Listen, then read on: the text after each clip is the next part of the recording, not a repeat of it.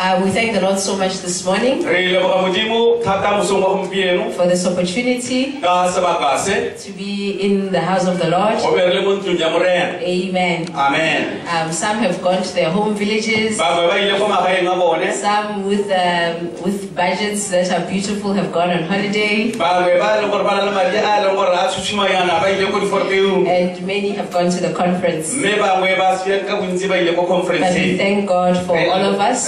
Re who leboga have- modimo ka ba rotlhe ba re leng fano Yes, who have been able to make it to the service here today. ba ba kgonneng go tla tirelong gompieno Amen. amen And uh, it's such an honor, and I want to thank Muruti for giving me this opportunity se ka go leboga moruti go ba mphile sebaka se to share the word. gore ke tle go arogana le founu It's always nicer and better, you know, when there's one service. ee tlhele go le molemo ga go na le tirelo e le mo You just do it once and you don't have to do it again. gore o dira hela be le gore be re meditse Amen. amen Let us open together in the book of Luke, chapter 7. a re buile mmogo mo lekwalo la gano ke kgaolo ya bosupa Luke chapter 7, verse 36.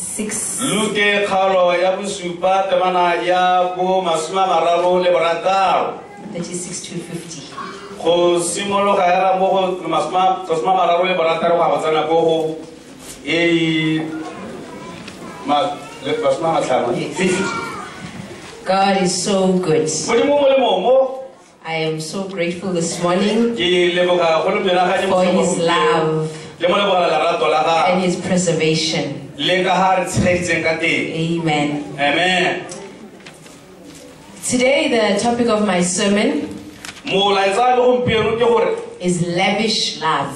lerato le le menaganyeng Yes, lavish love.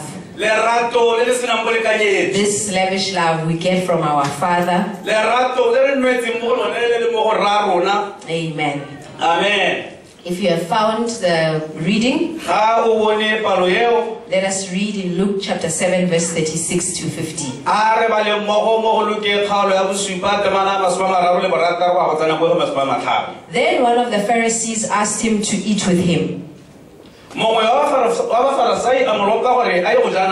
And he went to the Pharisee's house mme a tsena mo ntlong ya mofarasai yo and sat down to eat. a dula a ja. And behold, a woman in the city who was a sinner, bona mosadi mongwe yo mo motseng le moleufi when she knew that Jesus sat at the table in the Pharisee's house, ya re a tlhaloganya ga jesu a dutse a ja mo ntlong ya mofarasai brought an alabaster flask of fragrant oil. A lere setolo ka sedibelwana sa alebesatara and stood at his feet behind him weeping. a ema ka morago ga dinaong tsa gagwe a lela. And she began to wash his feet with her tears. Mme a simolola go kolobetsa dinao tsa gagwe ka dikeledi. And wiped them with the hair of her head. a di phimola ka moriri wa tlhogo ya gagwe. And she kissed his feet and anointed them with fragrant oil.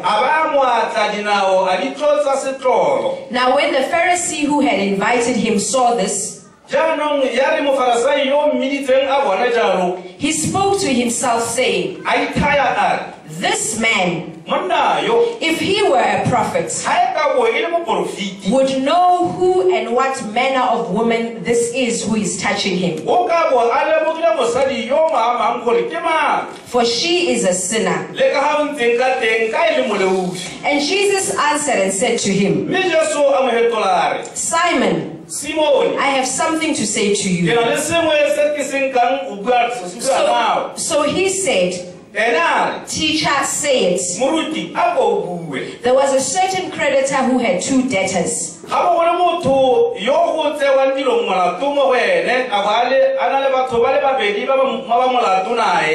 One owed 500 denarii and the other 50. mongwe a le molato dipolto di le masome a matlhano yo mongwe a le molato dipolto di le tlhano hela And when they had nothing with which to repay, erile ka ba sena sepe sa- ba sena sepe go lega ka sone he freely forgave them both. a ba itshwarela bo babedi Tell me, which of them will love him more? mpolelela gore yo o tla mo ratang bogolo mo go bone ke ofe Simon answered and said, simone a mo fetola a re I suppose the one whom he forgave more. ke a gopola ka nna ene yo o mo itshwaretseng go le gogolo And he said to him, a mo raya a re You have rightly judged. o gopotse sentle Then he turned to the woman and said to Simon, a retologela mosadi a raya simone a re Do you see this woman? a o bona mosadi yo I entered your house. ke tsile mo ntlong ya gago You gave me no water for my feet. naya metsi a dinao But she has washed my feet with her tears and wiped them with the hair of her head. mme yo o nkolobeditse dinao ka dikeledi a di phimola ka modiri wa You gave me no kiss.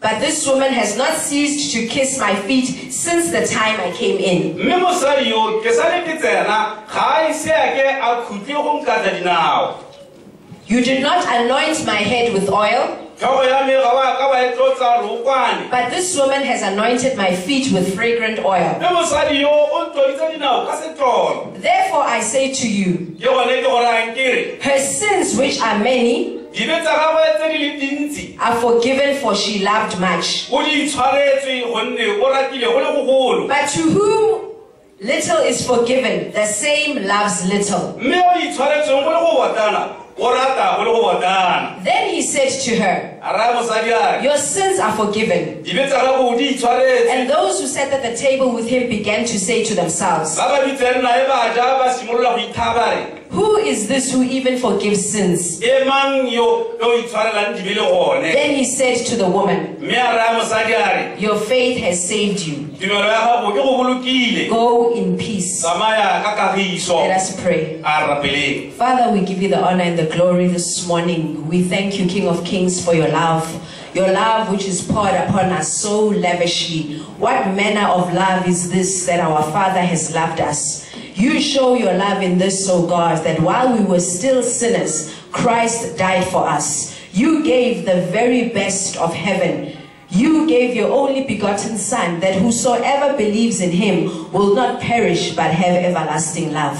Lord, I pray that as we have read your word this morning, you will give us understanding of your word. You will give me, O Lord God Almighty, ability to divide your word correctly to your children. And your word will come with the purpose for which you have intended it. And Father, that it will do a great work in our lives. I pray, O Lord, that we will begin, O Father, to understand your great love for us, O Father, and that we will in return love you back, O Father, with all of our lives, O King of Kings. Holy Spirit, thank you that you are here. Thank you that you take control. Thank you that you move in this place. You give us understanding. You rebuke us. You correct us. You enlighten our hearts and our minds in the mighty name of Jesus. Be glorified, be magnified, O King of Kings. In Jesus' name, amen. Amen Hallelujah. glory Do you know how much God loves you? a o itse gore mora- modimo o go rata jang Do you know how much God loves you? a o itse gore modimo o go rata go le kana kang First John 3 verse 1 um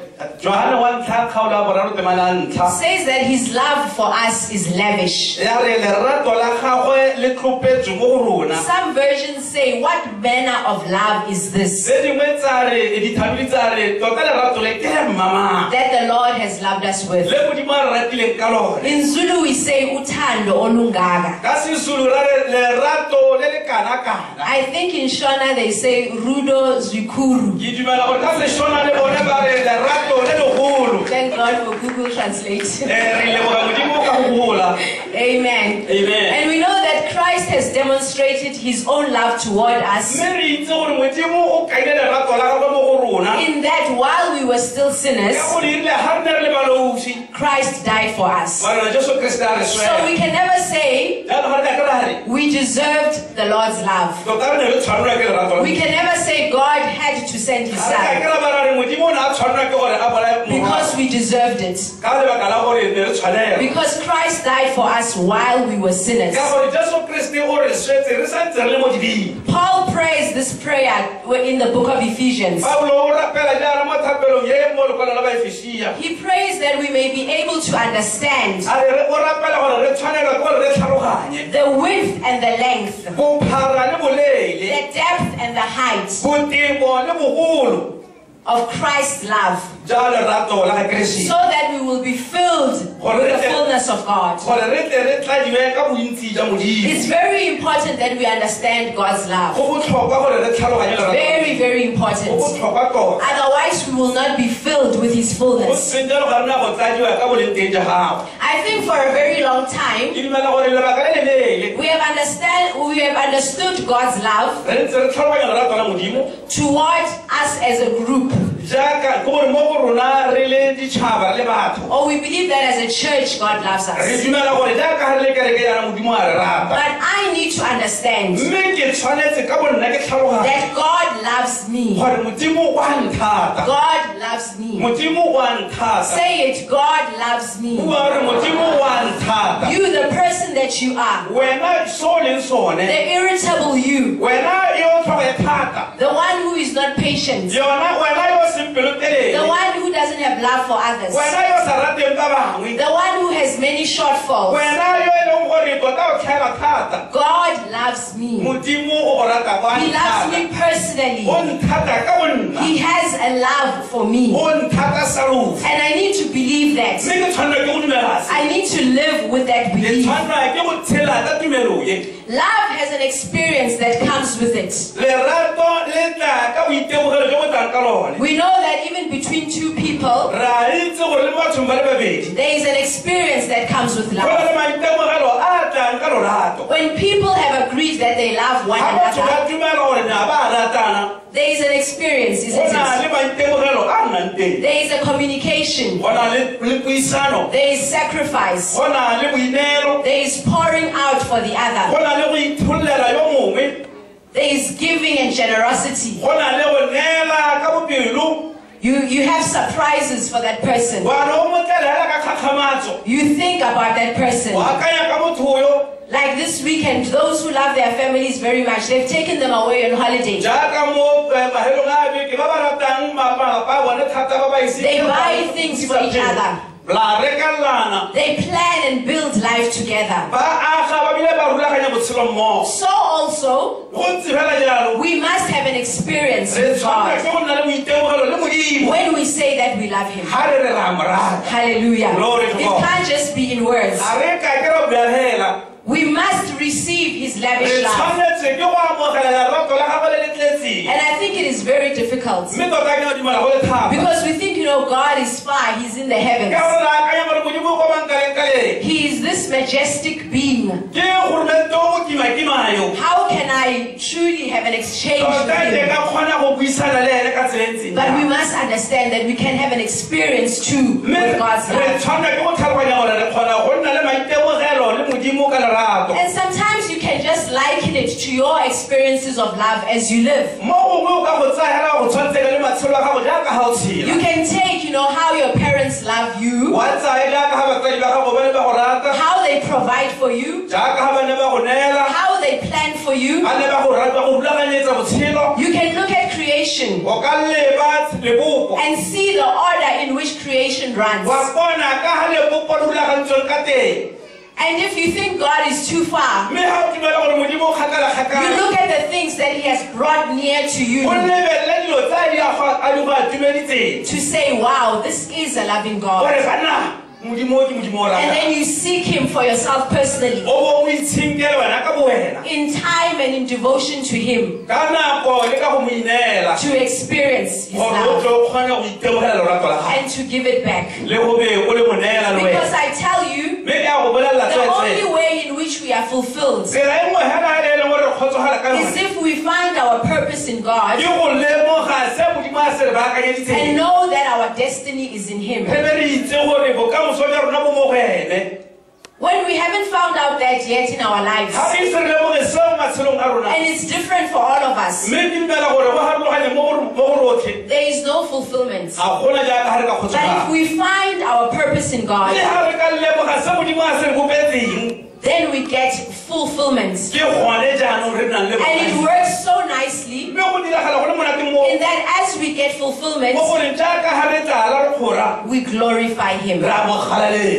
Re a mo galaletsa As I am doing what I'm doing here, jaaka ga ke dira se ke se I have found out that it is God who wants me to do this. lemogile gore ke se modimo a batlang ke se And it didn't just come naturally, I had to find it out. ga go a wa porogo hela ke nyaka tshwanela ke gore ke go itshenkela And as I do it, mme jaaka ga ke go I am getting fulfillment ke ntse ke and I'm giving glory unto ebile gape ke God.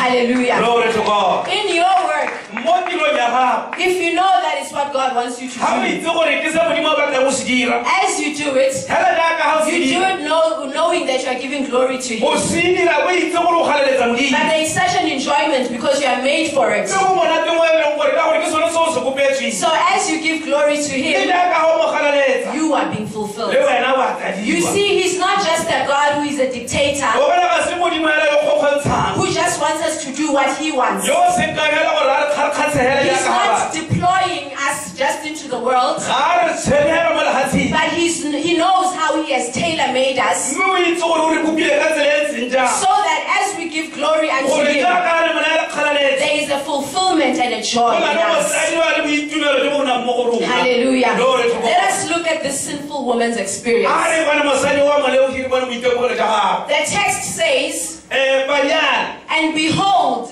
bona. A woman in the city who was a sinner, mosadi wa mo toropo mongwe le le moleugi when she knew rile ga a sena go that Jesus sat at the table in the Pharisee's house, gore jesu o kwa tlong ya mofarasai a ja. she determined that that is where I'm going today. ipolelela mo pelong ya gago gore ke a golela ke ile ko gompieno. She decided, she made up in her mind a te- a tshwetsa- tsa tshwetso mo tlhaloganyong ya that I'm going to meet this teacher gore ke a go kopana le moruti. that everyone has been talking about. yo a ntse go buiwa thata ka ga ene She had obviously found out about him. go ne go lemosega gore o ne a setse a kela itemogela ka ga ene Maybe she had heard about the woman who was caught in adultery. Go bona kela utlwa ka mosadi o ne a tshwarwa a le mo and how Jesus treated her. go le gore morena jesu kriste o ne a mo tsaya jang Maybe she had heard about the woman with the issue of blood gomo kila kila utlwa ka mosadi yo o ne a a tshologa madi and how Jesus treated her. le gore morena jesu kriste o ne a mo tsere ka And she determined and knew mme a tshwetsa- a tsaya tshwetso a be a tlhaloganya that I must go and meet this man. tshwanela ke go a bona monna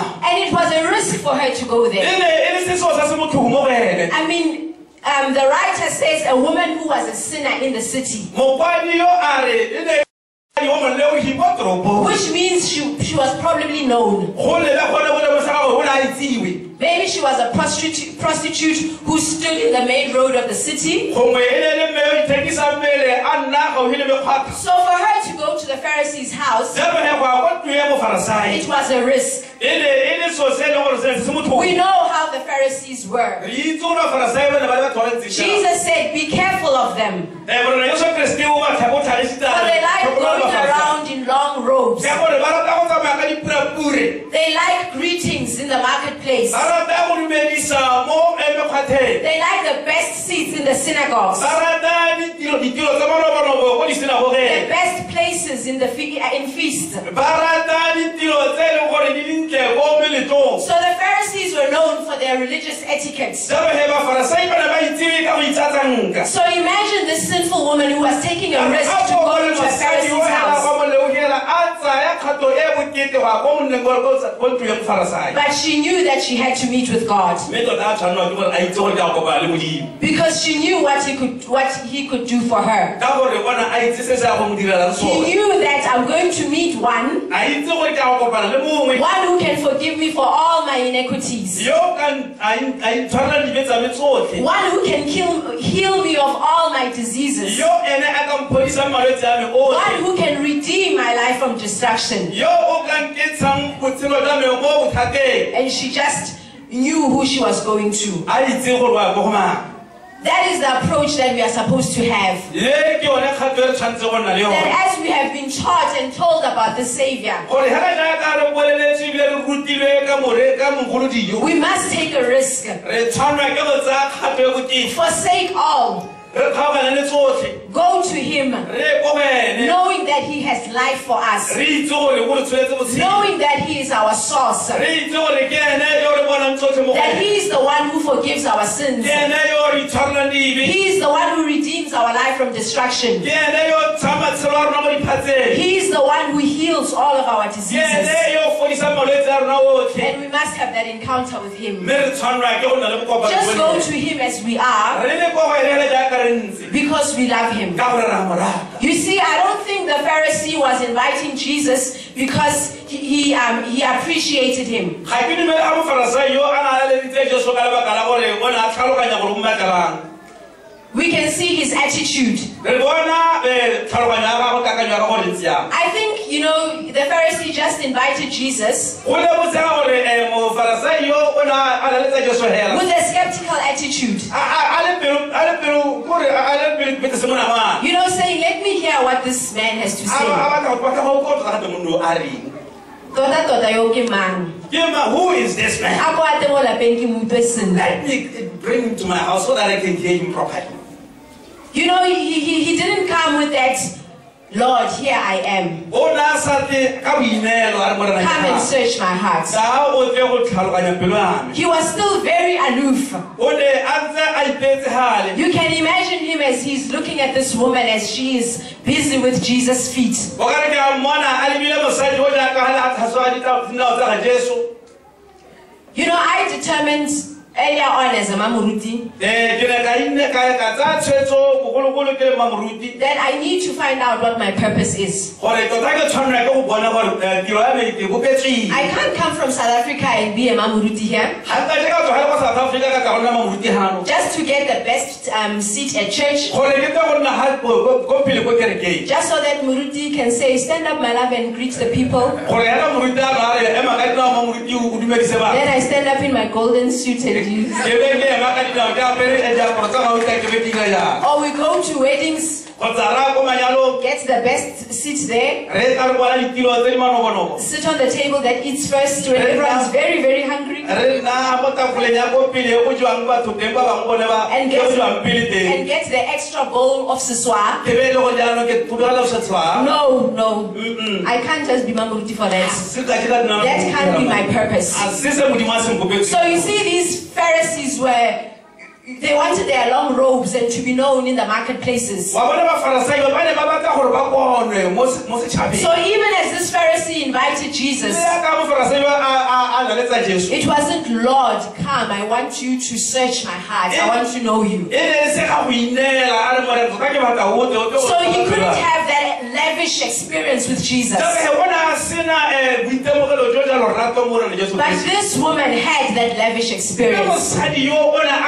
Mosadi yo o ne a na le boitemogelo jo ja The Pharisee made the invitation. Eh, mofarasai ene o na le ditse But who was the greater appointment with? tota mme ga na gone tumalano kgotsa eh, The greater appointment was with this sinful woman. tiragalo ne a nna ga gare ga mosadi le jesu Kristo. Hallelujah. Amen. Hallelujah. Amen. And that is uh, what our approach is to is supposed to be to the Lord. jalo ke gone se a re tshwanetse go am- go atumela morena wa rona We can't come to the Lord ga re ka kry ka go moreneng in our aloofness with our backgrounds that I was good anyway. re ithale re nyame kana nna ke That my parents were already born again. kana batsadi ba me ba ne ba I'm from a saved family. Ditemotswa mo lapeng la ba- la ba- My parents were married. Eh, bo batsadi ba ba le Yes, those things are Eh, advantageous. dilo tseo di ka tswa di But when we come to the Lord, ha re tla mo go we can't come with our re self-righteousness. ka ke rata ka ene ka tshiamo We must come pouring ourselves unto Him, diving into His love, tle re be- so that we can have that rich experience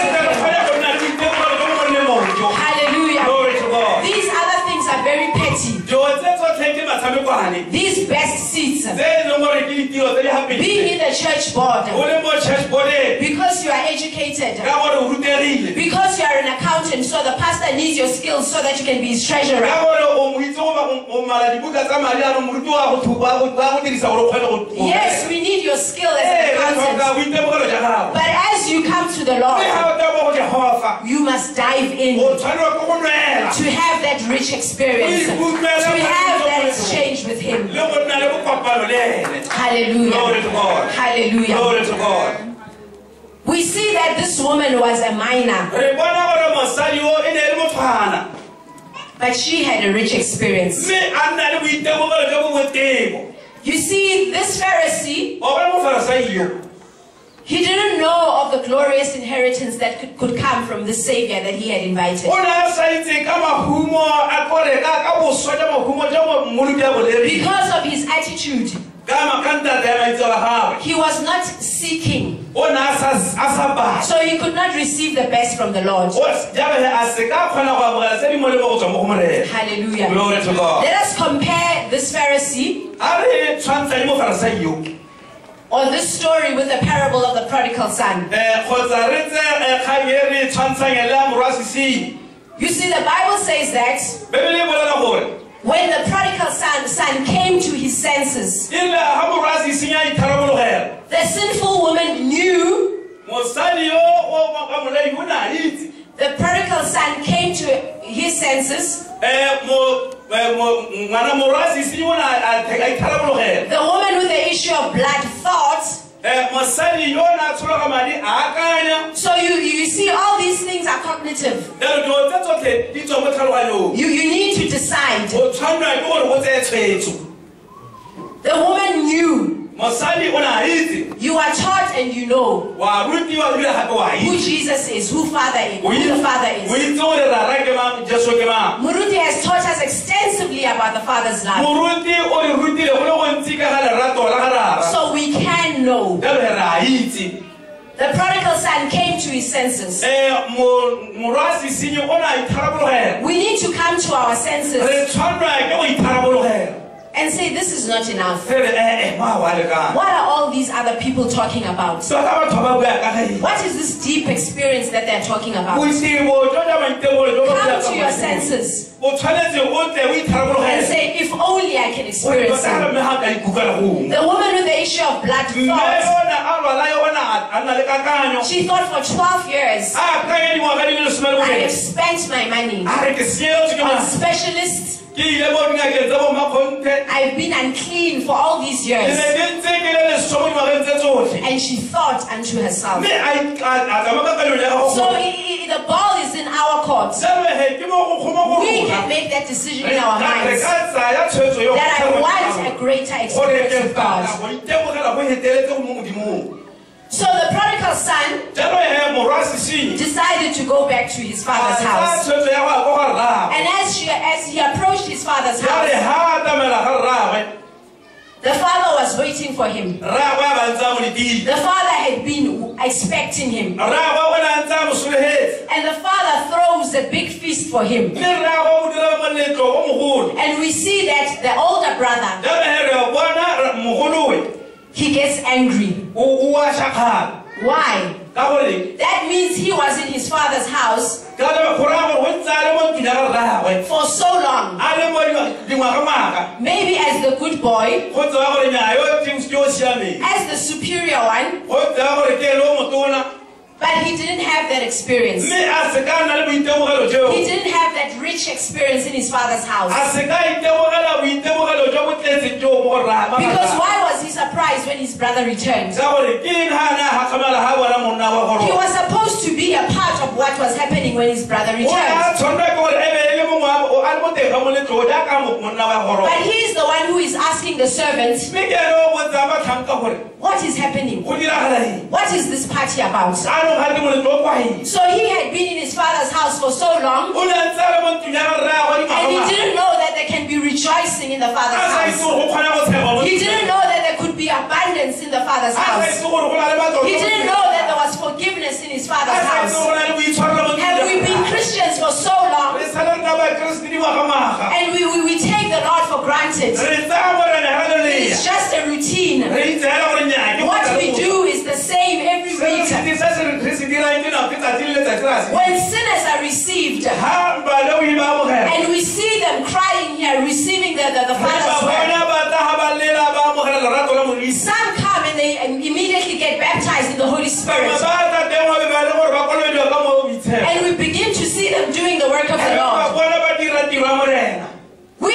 Supposed to be the ones who criticize them. ga re a tshwanela gore nne rona ba le gore ga ba kgala We are not supposed to be surprised and say, What is happening here? a tshwanela gore be le ka re ga kgamelela re go diragala eng Does this one who came yesterday think they now know better than us? ka re hela yo tsamaya ba ne be le gore o tsetsa itse But we are supposed to be part of that experience. tshwanela ke gore be le re phodile mo karolong As people are receiving the Lord's love, batho ba amogela lerato la we should know what is happening. re tshwanetse re bone gore go diritse go We should be part of welcoming them,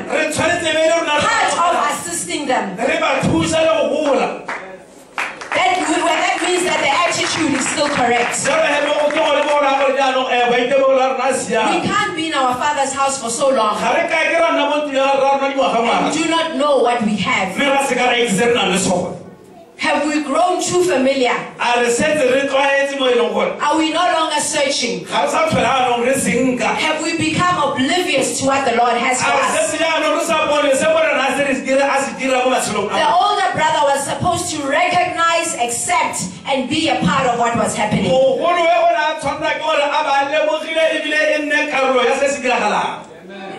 It will seem that the father, who is the giver, go lemotshega gore rrabo be ne le ene monei it seems as if he's more generous to this new one who is coming in. go bo go lebega eteano letsogo la gago le bulegetse thata ngwana ga o motala le o gorogang In the parable the prodigal son, it looks like the father was being more generous to the prodigal son than to the older son. mo polelong eh, ye ya morwa sesenyo go lebega kete rrabo yo jaanong ke- o o ka re letsogo la gago le phuthulogile thata mo go ngwane yo gago yo o gorogang So he asks his father, jaanong o botsa rrabo This person who has squandered your money, eh, ma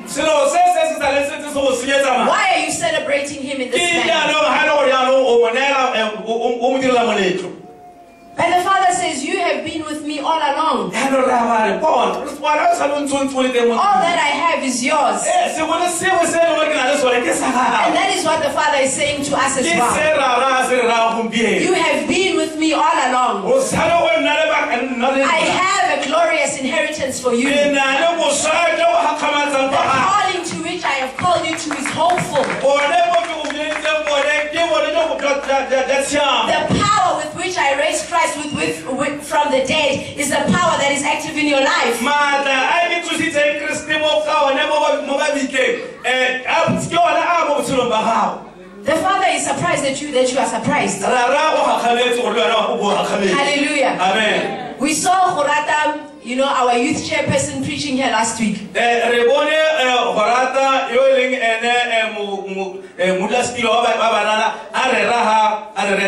Maybe some of you are saying, hey, Bana,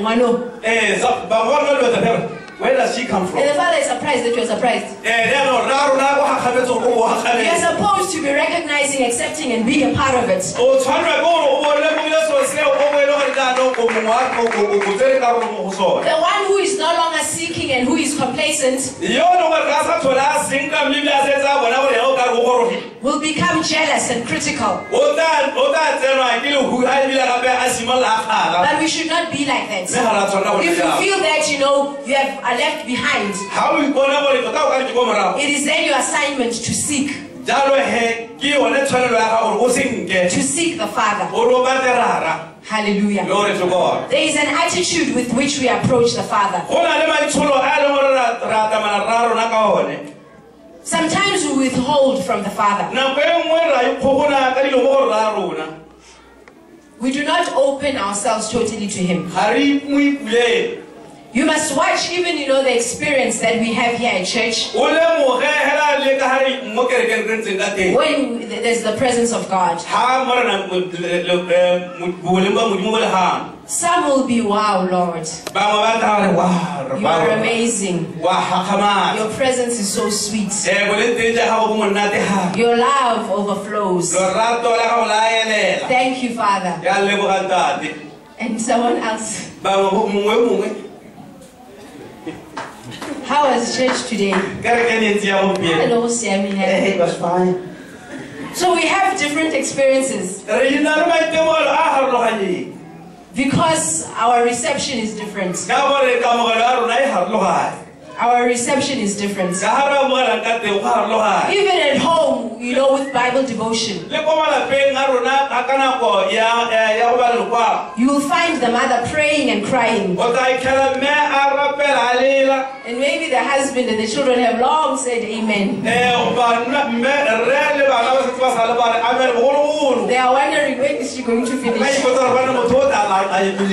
You know, when we are in South Africa, when it's New Year's Eve, eh, um ko aforika borwa ka letsatsi le moletlo wa wa ngwaga o mošwa um, you know, people get ready from 11, half 11, you know, with their fireworks and all the noise. batho ba simolola go ipaakanya ka nako ya go simolola ka eleven go le ka dicricket ba. So it was in my grandmother's house. Jalo he ne le le tlwaelo ko gangkuku that um, I want us to pray from 11 or half 11. ke re ke eletsa gore ke rapele go tloga No, she would want us to pray.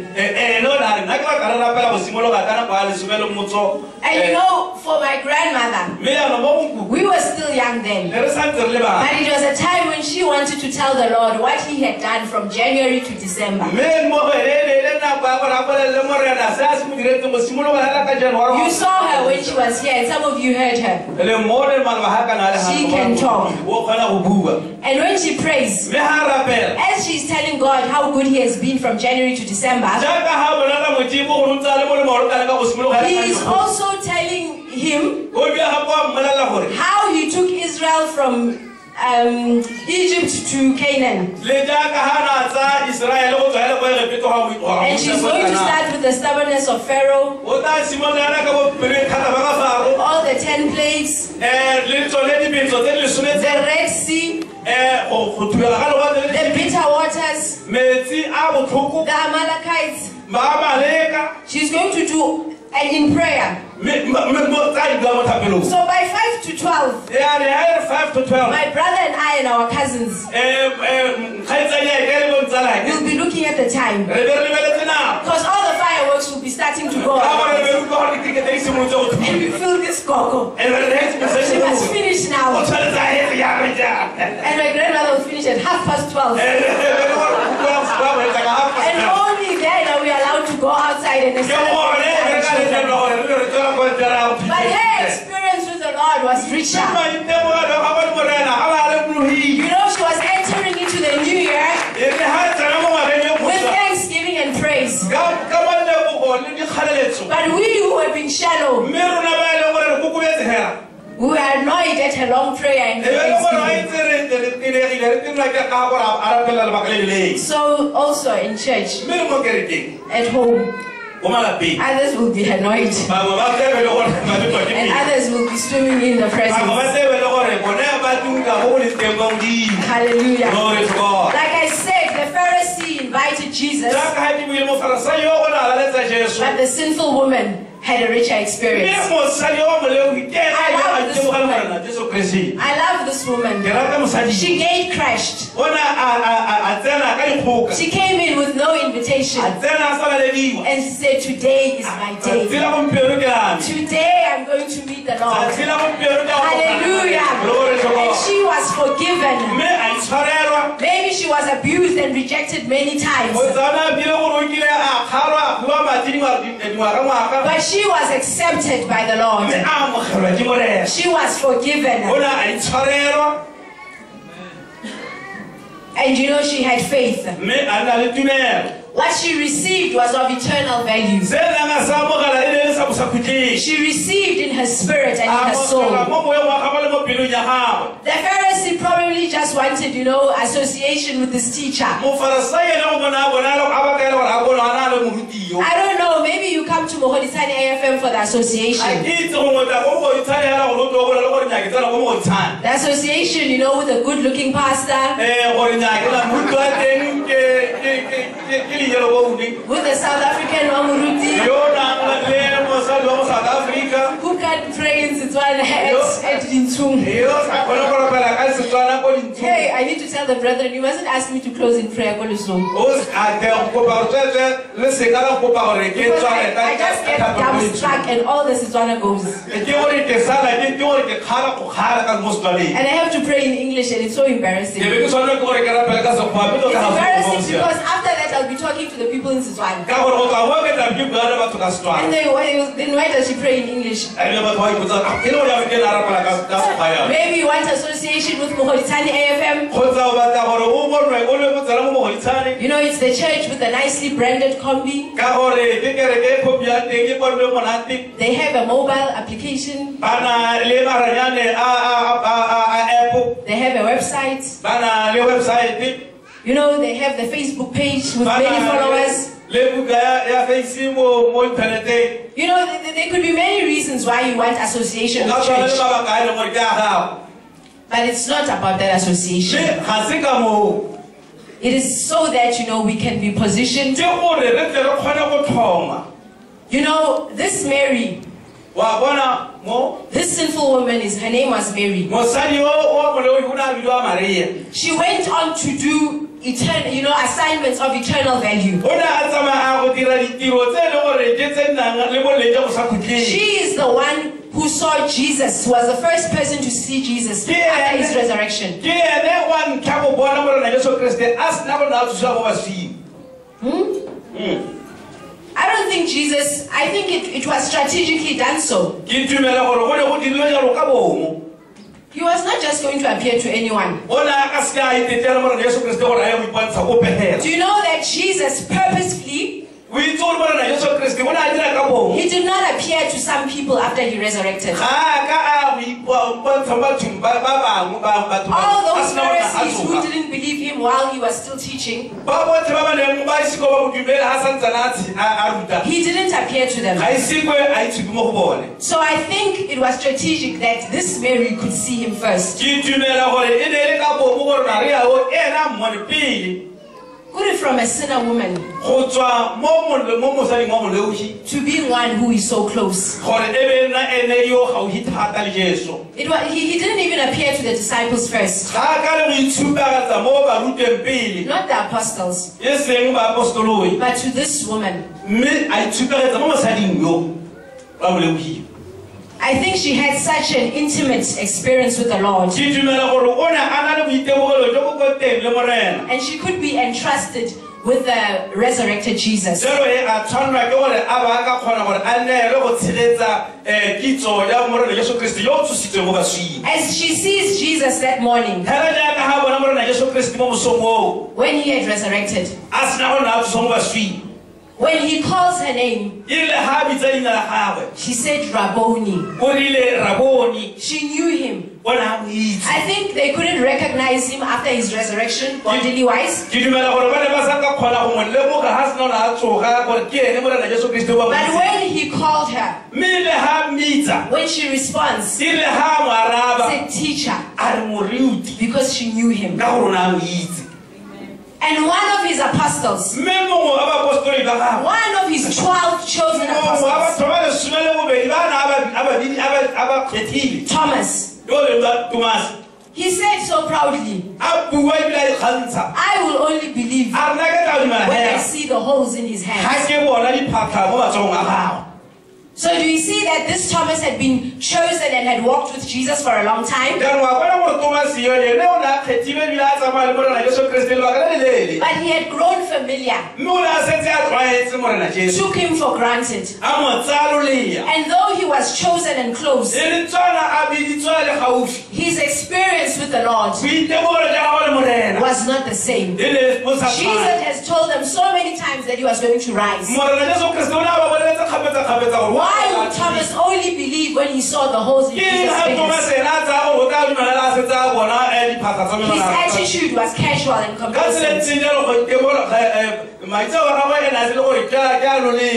tsela complacent. ntseng jalo go itemogela maitseo a gagwe ene a se le gore ke a- ke a lolea The Bible says that even Jesus' brothers, baebele bolela gore le bone bo bo morwarra jesu Jesus' brothers, Mary and Joseph's children, bana ba ga maria le josefa bo bo morwarra they didn't believe in Jesus. ba ne ba sa dumele morena The Bible says that even his brothers do not believe in him. bebele bolela gore le bone bo bo morwarragwe ba ne ba sa mo dumele They didn't believe that he was the Messiah. ne ba sa dumele gore ke ene mmoloki And they lived in the same house with him, mme a ne a tsoga ba a robala mo ntlong in the same house le bone with their mother. Ba robala le mmaago But we see a different attitude in their mother. mme re bona mmao bo ene a na le um, go mo amogela ka tsela e farologaneng She had a different experience. with ene this. o ne a na le boitemogelo jo bo farologaneng Though she had carried him in her, um, carried him for nine months le tswana a mo imile dikgwedi le di roba and raised him, a bile a mo godisitse she didn't take him casually. ga a ka mo tsaya lolea hela O ne a sa re, "Ne ke go tseta wena." no she would not say i, I, I put a diaper on you She had a rich experience with him. o ne a na le boitemogelo jo bo teng mo go ene We see this when they go to the wedding in Cana. re bona se ga ba ko lenyalo ko kana Because she knew that this child of mine is different. La gore o ne a itse gore ngwarake o garologane Even when it was not Jesus' time yet to start performing miracles, le ntshwane kwa morena jesu kriste gore a ba dira metlholo ne sego when they go to the wedding in Cana, ga ba tsena ko lenyalong ko kaina. she knew that the shortage that was there could be filled by Jesus. o ne a itse gore go tlhaela mo go leng teng mo go ka kgona gore go And she says to your servants, mme o raya ba- whatever he tells you to do, do it. sesegala sa le rang le se dire And even though it was not his time yet, re ntswane se nako ya gago se- because of attitude and her hunger, mme ka ntata ya tsala ya gagwe le ka because of her desperation and surrender, ka ha o na nnete ka Jesus did not have a choice but to honor her faith.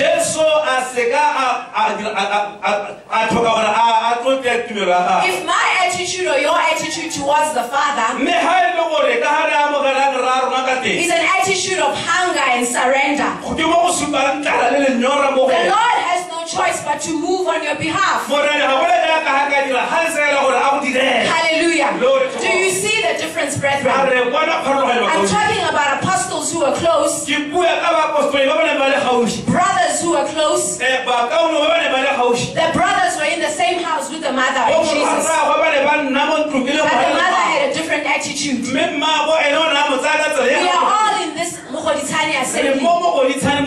but our attitudes are different. mme ka ga re tsang What will your experience with the Savior be? wena maitemolo a gago le mmoloki ke eng It was not Jesus' plan to minister to a Gentile, ne se lenaneo la mo- la morena jesu keresete go direla moditšhaba but when the Syrophoenician woman came to him, mme ga mosadi o wa mosadi o finisia a tla ko go ene her attitude and her desperation, a tla le gore o Jesus had no choice to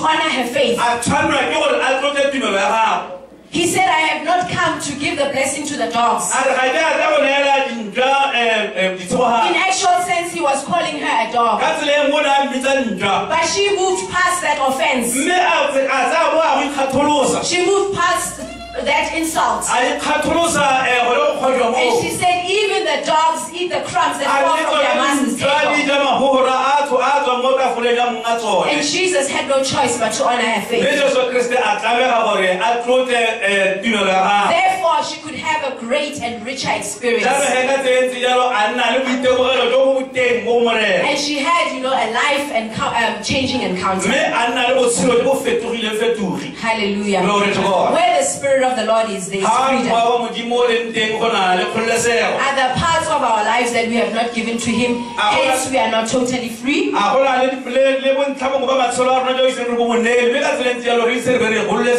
In His presence, mo bo leng teng ja there is fullness of joy. go na le botlalo jwa boitumelo Is your joy not full? Are you maybe withholding? That is why your joy is not full. a kgotsa o ka tswa le gore o ikgogola ka sengwe ke sone se eh, bo- boitumelo jwa gago bo iseng botlale Yes, we are growing and we are still learning, ee ra gola ebile gape re ntse ra ithuta.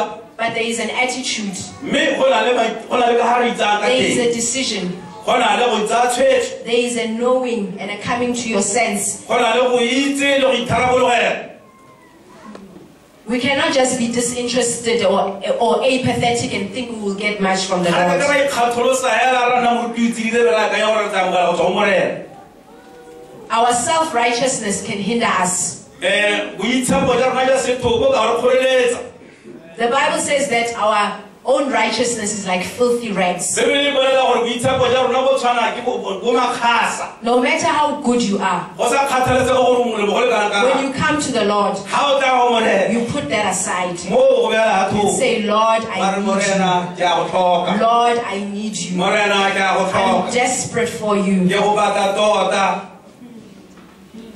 We also cannot be numb towards the Lord.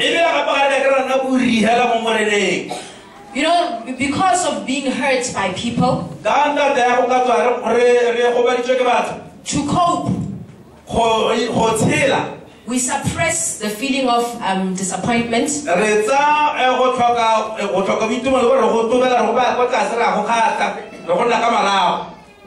So that we, we can cope, you know. re tle re kgone gore re tshele If I have an expectation of you ga ke soletse sengwe mo go wena and you don't fulfill it, mme o bo o sa se dirise I'm disappointed. ke ke a ke a swaba But I need to, to deal properly with that disappointment. mme ke tshwanela ke gore go swaba mo ke go- ke go I need to accept that I'm disappointment. I'm disappointed.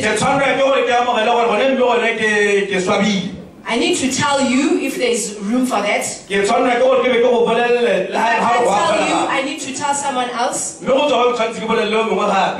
I need to tell the Lord about it. tshwanela ke go bolela morena But I must deal with it properly. mme ke tshwanela ke go dira ke go dira sentle But when we are hurt, mme ga re utlwile botlhoko to cope, we suppress re tsa botlhoko jo then we just become numb. ra bo gatelela ra So that you don't feel re le gore jaanong boikoro bo ikete ka gaupi le ga le sepe So we can't come with numbness to the Lord. jaanong ga re ka kry-a tla ka go ipeta pelo mo moreneng Sometimes we just come like that, we are just numb. nako ngwe re tla hela o itse re itse re le moriti o tsididihela And the, the Spirit cannot move mme moya ga go na jaaka ga o ka tsama wa wa elela mo go rona in our lives. mo matshelong a rona Hallelujah. glory to god May the Holy Spirit bring to the surface this morning. a moa mowa boitshepo a tsosolose mo mosong wa gompieno May He bring every suppressed emotion.